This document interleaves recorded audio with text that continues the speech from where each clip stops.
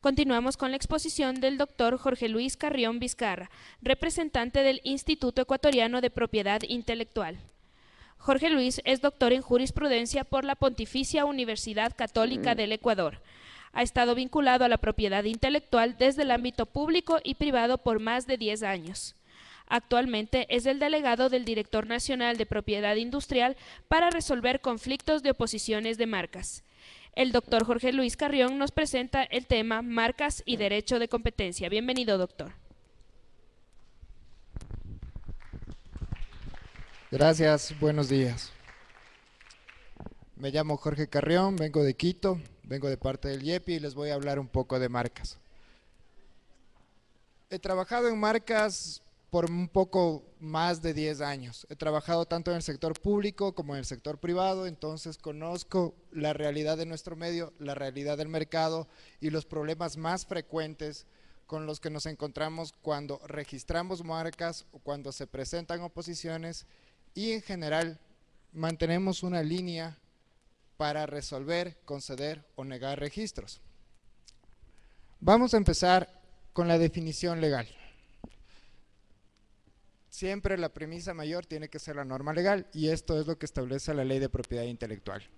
El artículo 194 de la ley de propiedad intelectual dice que se entenderá por marca cualquier signo, cualquier signo que sirva para distinguir productos o servicios en el mercado. Esta es la definición de rigor, pero en el medio las marcas son mucho más que eso. Este concepto, a mi criterio, resulta anacrónico y poco práctico, porque la marca va más allá de ser un signo distintivo.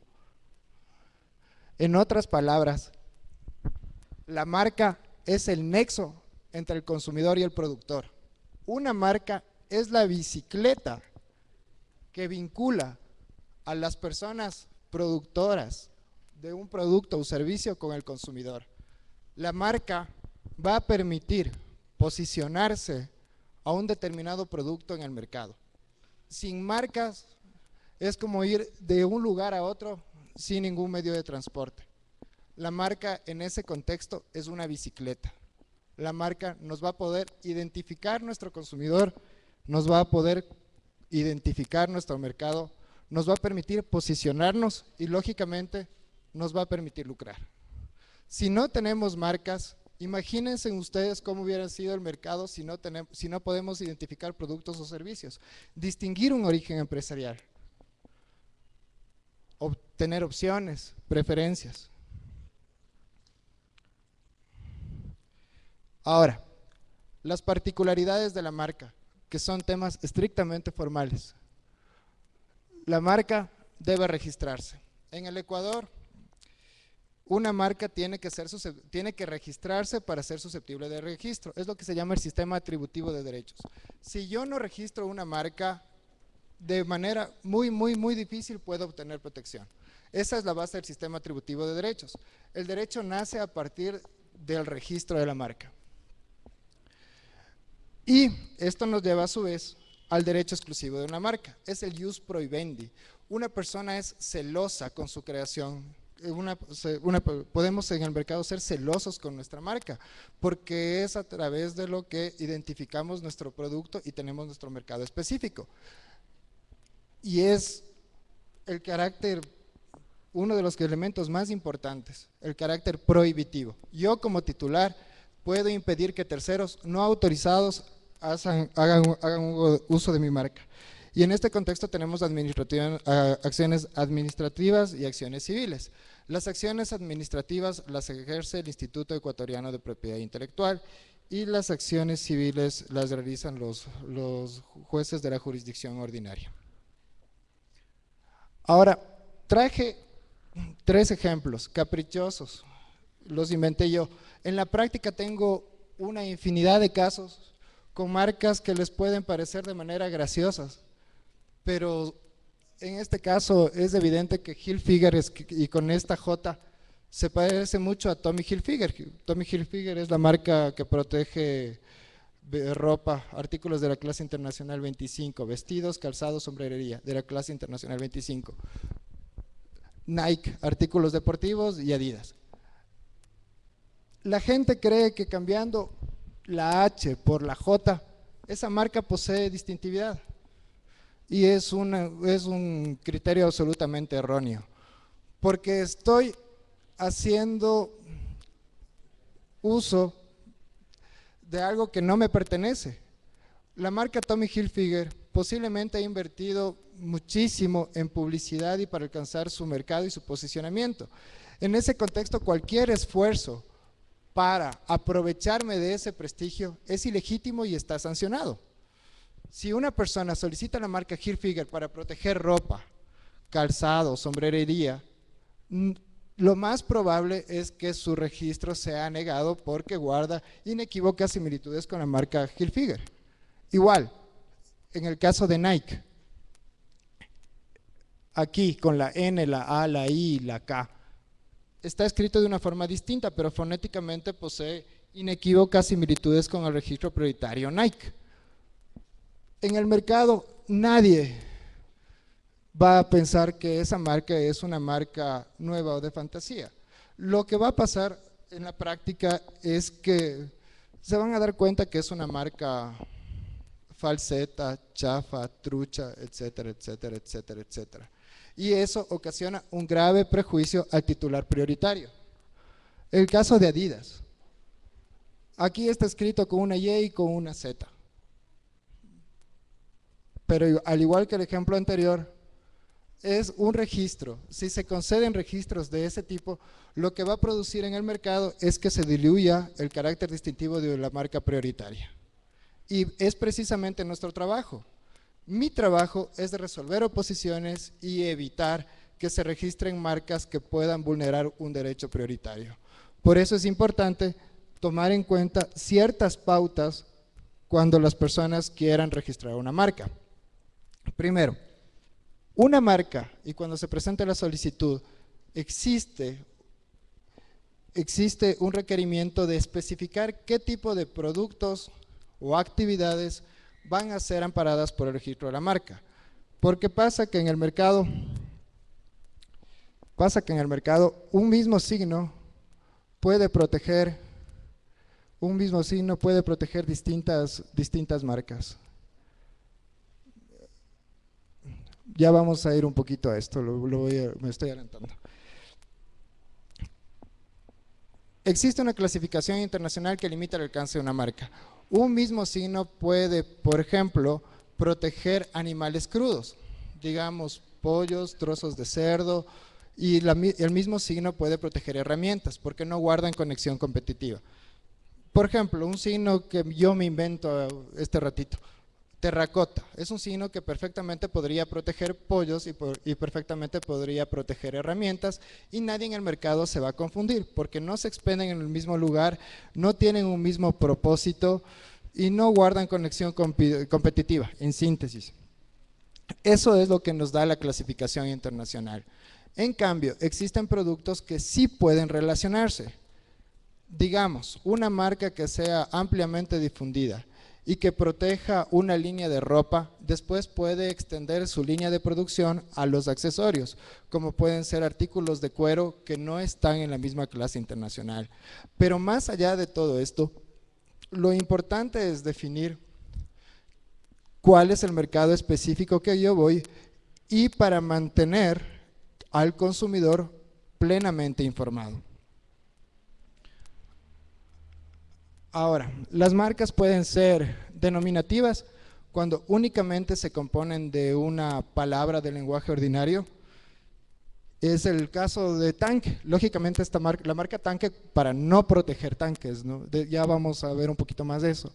O la marca Matro, esta es una marca que yo me la inventé ayer. ¿Es una palabra de fantasía o es una palabra caprichosa para proteger productos? Esto como ejemplos de marcas denominativas. Una marca gráfica es la que tiene una representación. Este es el conejito de Playboy, no los fueron cosas que las saqué rápido por internet. Y este es el ejemplo más rápido que encontré para una marca mixta, que tiene un elemento gráfico y un elemento denominativo. Vamos a ver un poco el aspecto formal. ¿Cómo se registra una marca? Ya tenemos una idea de lo que es una marca, sabemos que tiene que identificar un producto, un servicio, que tiene que limitarse el, que tiene que limitarse el alcance por una clasificación internacional y la marca, entre otras variaciones, puse las más básicas, puede ser denominativa, mixta o gráfica. Para registrar marcas se tiene que presentar ante la Oficina Nacional Competente, en el Ecuador es el Instituto Nacional de Propiedad Intelectual, ahora las solicitudes se presentan en línea y se adjunta un pago de 116 dólares. Cuando la marca se solicita, se pone en conocimiento público para que en caso de que una, una persona que pueda sentirse afectada pueda presentar oposición. En el caso de que presenta oposición, se tiene que presentar la oposición adjuntando una, una tasa. Esos son los requerimientos formales. Cuando se presenta oposición, se corre traslado con la oposición y se permite que el solicitante conteste. Y después de estos pasos se emite la resolución respectiva, que es lo que yo hago. Es mi trabajo resolver sobre oposiciones. Para lo que hay que considerar qué productos o servicios identifica cada marca, si existe un parecido, eh, si el parecido puede ocasionar confusión en el consumidor. Y una consideración que para mí es la más importante es el ánimos. ¿Realmente el solicitante conocía o no de la existencia del registro prioritario? ¿Pretende acaso el solicitante beneficiarse del prestigio obtenido por la marca anterior? ¿O únicamente se le puede atribuir a una a una coincidencia inocente cualquier parecido. Esas son circunstancias, entre muchas otras que se toman en cuenta para resolver un conflicto de oposición marcaria. Ahora, independientemente de que exista oposición, siempre se tiene que hacer un análisis de registrabilidad. Y aquí se tiene que revisar todos los elementos que tiene que, que, tiene que que tiene que acompañar a una marca. Las marcas, como puse acá abajo, no pueden ser ni descriptivas ni genéricas, porque tienen que poseer distintividad suficiente respecto del producto que van a proteger, o servicio, del producto o servicio que van a proteger. Este es un ejemplo de una marca genérica, sal. Si yo solicito sal para proteger sal, el registro va a ser negado, porque es una marca absolutamente genérica. y aquí está otro ejemplo de una marca descriptiva.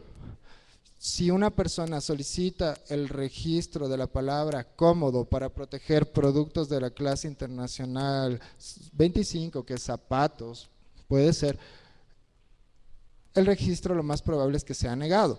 Es distinto si se solicita la palabra cómodo acompañado de una grafía, de un logo, porque se puede tener se puede obtener el registro del signo en su conjunto, no sobre los elementos aislados.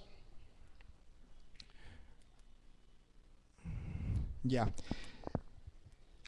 Hay cosas que también son muy, muy importantes y voy a retomar el punto en que la marca tiene que adecuarse a los requerimientos de mercado.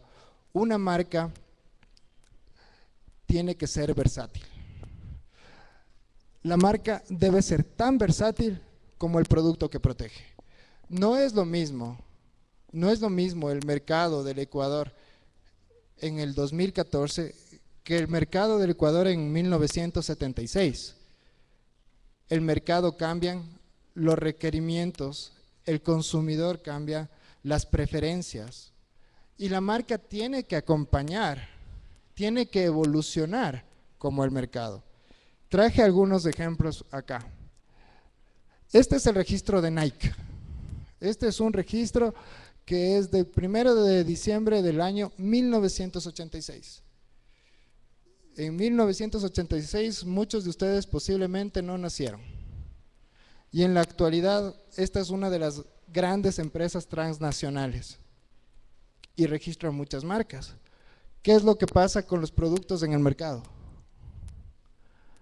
Estos son los productos Nike en el mercado. Esta fotografía la tomé de la última edición de una publicación. Arriba dice el producto y la marca.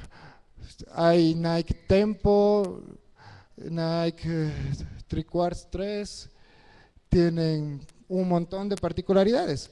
Y a la par, su competidor directo, Adidas. Este es el registro de Adidas del año, 1970, del año de 1976. Fíjense en las tres bandas de la camiseta. Es uno de los elementos más característicos de la ropa Adidas, entre otros logos. Y no sé la siguiente. O ya no, o no se pegó. Bueno, no importa. Pero básicamente, si se ponen a ver la tecnología actual que acompaña a las marcas y los zapatos Adidas, es ampliamente diversa de lo que fue en un principio. Las marcas se adecúan, las marcas tienen que ser versátiles, el mercado cambia. ¿Quiénes registran más marcas en nuestro medio? Las grandes transnacionales, bebidas, comida y productos y bienes de consumo. En consecuencia, si una persona quiere ampliar su mercado, tiene que ampliar toda su cartera marcaria. Marcas es la mejor inversión porque es un bien intangible. La marca le va a dar un plus a mi compañía y a mi producción. La marca va a permitir esa asociación entre una persona que produce y el consumidor. La marca me va a permitir crecer en el mercado. El momento en que nosotros seamos absolutamente conscientes de la importancia de la marca, vamos a ir creciendo y vamos a, a ampliar nuestros horizontes de mercado. La marca tiene una validez de 10 años. A partir del registro de la marca, la marca puede renovarse de manera indefinida por 10 años, presentando una solicitud seis meses antes y seis meses después de la fecha de vencimiento. Aquí está, ahora sí. Este es el registro de Adidas del año 1976 y estos son los zapatos de Adidas como se presentan ahora. Y al producto acompaña la marca de una con una presentación mucho más, mucho más versátil puede ser o mucho más moderna. ¿Creen que realmente hay tanta, tanta tecnología en los zapatos o es un ejercicio de marketing? La respuesta la tiene cada uno de ustedes. ¿Cuál es la diferencia entre una Gillette Match 1 y una Gillette Match, Match 3? Peor edición mundialista.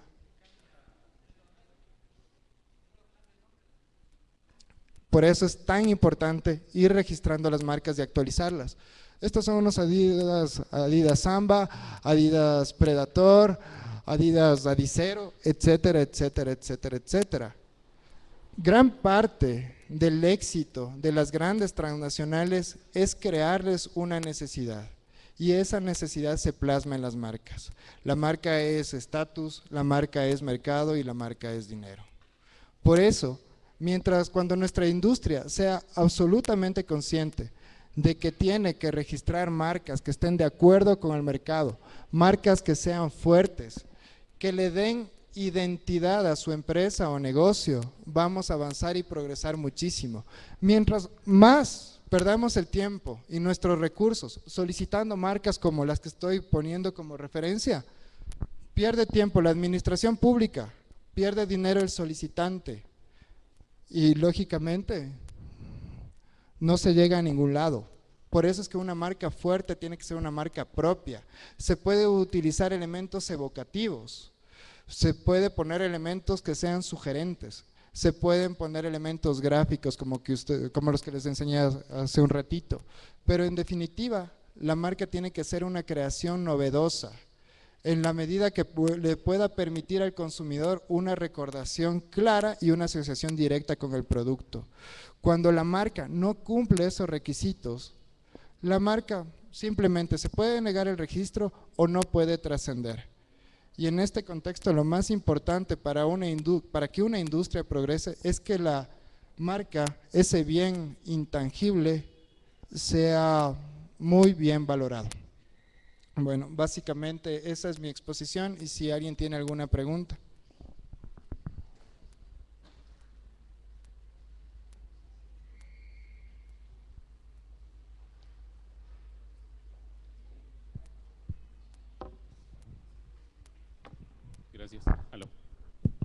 Gracias. Buenos días. Eh, con el tema de, o el respecto al tema de la marca de la Federación Ecuatoriana de Fútbol. Eh, se estaban elaborando camisetas que no tienen o que no proceden de Maratón Sport. ¿Existe algún impedimento de utilizar el sello de la Federación Ecuatoriana de Fútbol, así como otros sellos de los otros equipos? Esa es una pregunta. Y la otra pregunta es si yo eh, rejuvenezco la imagen de la marca y, por decir, eh, registré hace ocho años atrás y me faltan dos años para que culmine su periodo, rejuvenezco la marca, tengo que hacer una actualización de la marca.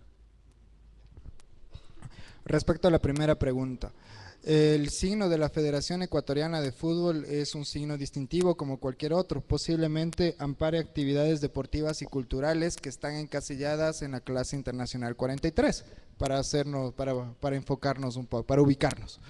Clase internacional 43, de acuerdo con la clasificación internacional de NISA, protege actividades eh, deportivas y culturales.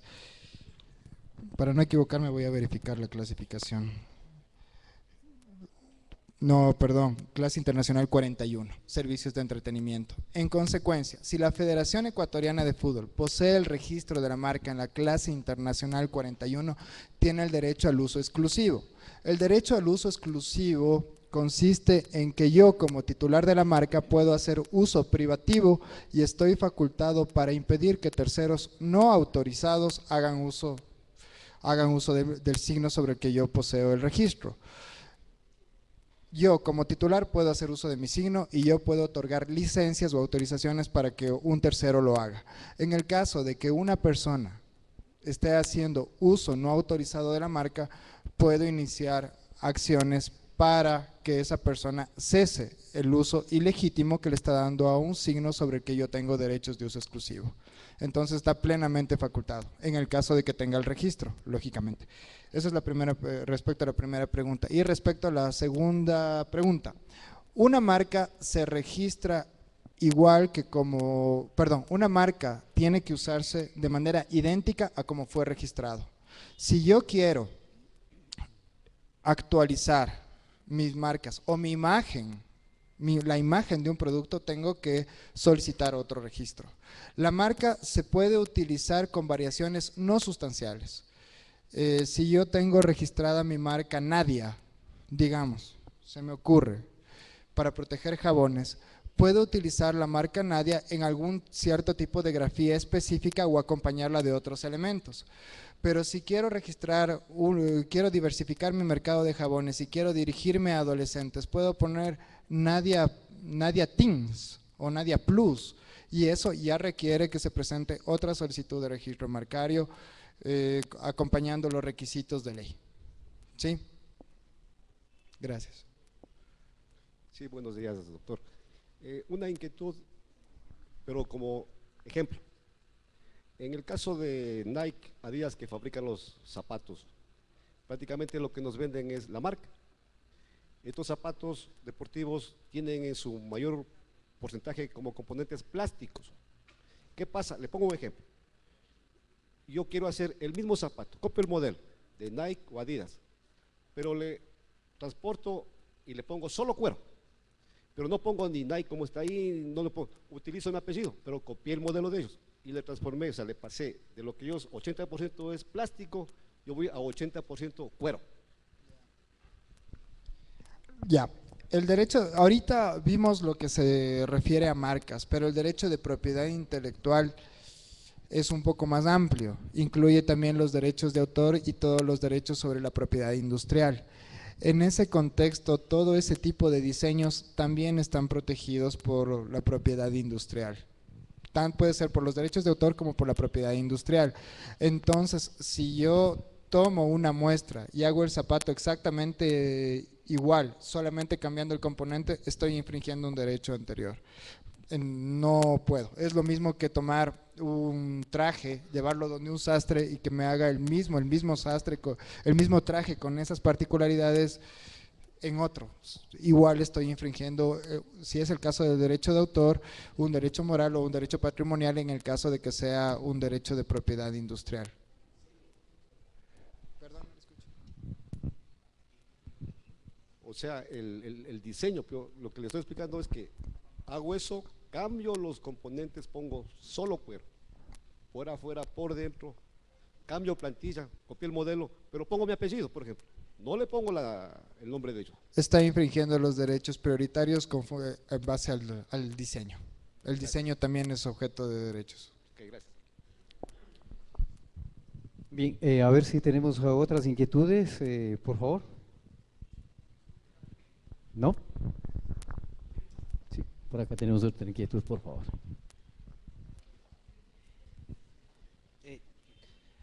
Un poco más que una pregunta, eh, ¿cuál ha sido la experiencia ah, del IEPI en los últimos, digamos, en esta, en, este último, en esta última década, con experiencia al registro de las marcas? Estamos, o sea, ayer conversábamos del sector curtiembre y del sector eh, textil bastante, las estructuras, y conversábamos de que efectivamente hay una necesidad de ampliar eh, la demanda.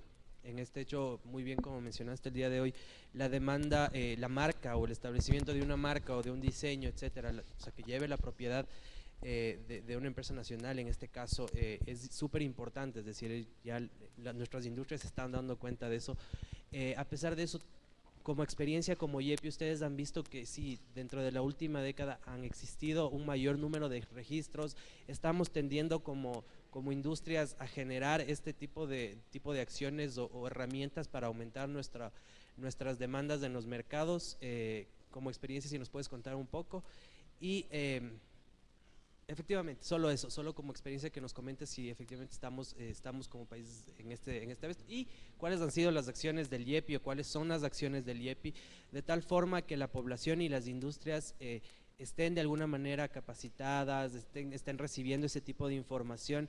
eh, a fin de que tengan esta visión, es decir, estamos hablando de que es una visión la cual no hemos tenido y que nos hace falta. O sea, ahora, como, como bien menciona, ¿no es cierto?, lo que tratamos de hacer por ahí es tratar de copiar el modelo, cambiarle la marca o cosas por el estilo, pero eh, ¿cómo, o qué acciones está llevando a cabo el IEPI de tal forma que las industrias efectivamente estén capacitándose en este sentido? Ya. Realmente, eh, el registro de marcas en el Ecuador por parte de las empresas nacionales ha mejorado. Ha mejorado en los últimos años. No es, eh, no es un nivel que nos dé tranquilidad realmente. Yo creo, y esto ya es personal, que se puede mejorar mucho más todavía, que se puede mejorar mucho porque el registro de marcas es un muy buen referente para ver cómo está la industria local. En ese contexto, tenemos que incentivar el registro de marcas nacionales porque la marca identifica la producción nacional y la marca nacional y el producto nacional va a posicionarse bien dentro de nuestro medio. Por parte del IEPI existe la mayor apertura posible para dar todas las facilidades para que la gente registre sus marcas. Podemos, tienen nuestra página web, está, no puedo mover esto de acá. Ayude, señor, no se mueve. Quiero ir a la primera página, por favor. Ahí está nuestra dirección de, de, la página electrónica. Y el IEPI tiene toda la apertura y tiene excelente, excelente predisposición para que el productor nacional pueda acceder, pueda registrar sus marcas, pueda proteger sus productos, porque en el contexto de un cambio de matriz productiva y de incremento de producción local, la marca es muy importante y como les, y como les, dije y me referí en la exposición, la marca es la bicicleta entre los consumidores y el productor.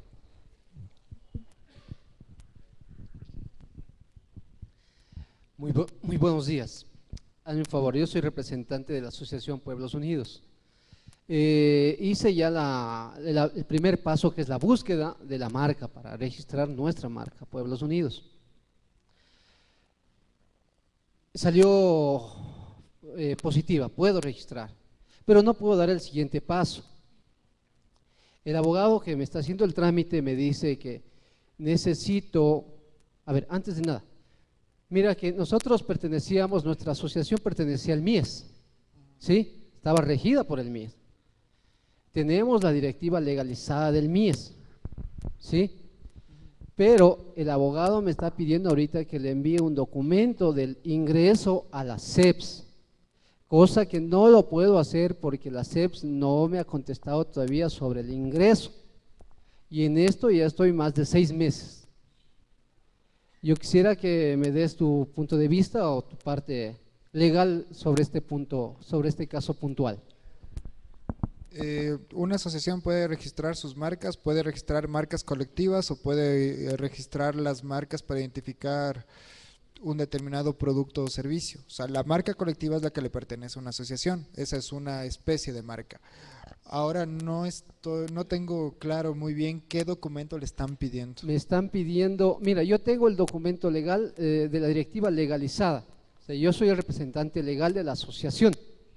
Ya. Tengo el documento que me respalda eso, que el MIES me legaliza la directiva, la última directiva. Lógicamente no se puede, eh, eh, eh, ahorita el MIES ya, ya no nos está rigiendo a lo que es asociaciones. ¿sí? Sí. Entonces, nosotros supuestamente deberíamos estar perteneciendo a lo que es la CEPS, la Superintendencia de Economías Populares y Solidarias. Pero ¿qué pasa? Que no podemos hacer el ingreso hasta el día de hoy porque eh, no nos acepta la CEPS. ¿sí? Estamos en, un- en una etapa de transición, estamos en el limbo, como si si- se te puede decir. ¿sí? Entonces, creo yo que el IEPI debería de aceptarme con el último documento que tengo, el registro del, del MIES, como representante legal para continuar el trámite. Es un tema puntual, y hay que revisarlo. O sea, prefiero que al final me dé el número de trámite o cómo se llama la solicitud y lo reviso personalmente en el IEPI para tener el mayores elementos, porque no sé realmente cuál sea el alcance de la, de la petición que le hicieron. Sí, Muchas gracias. no, a las órdenes. A ver si de los presentes tenemos otra de las inquietudes para nuestro expositor. ¿No? No. Bien, eh, vamos a continuar. Gracias. Sí, muchísimas gracias.